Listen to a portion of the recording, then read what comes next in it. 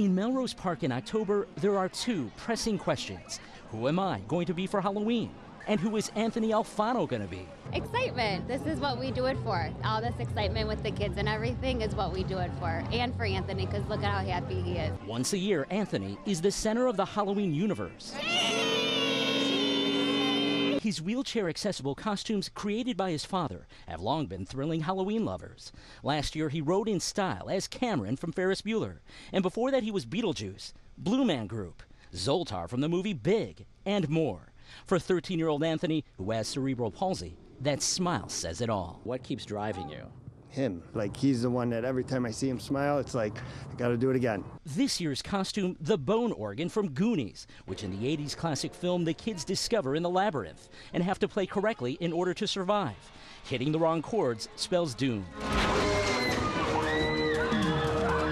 Anthony's dad started on the costume weeks ago, crafting the bones from bamboo and the organ keys from plastic skeleton fingers. We gave it a whirl. Like in the movie, hitting the wrong keys oh. will give you a jolt. Oh my goodness. The Alfanos have donated two of Anthony's costumes to families with children in wheelchairs. Their love and creativity spreading joy to others.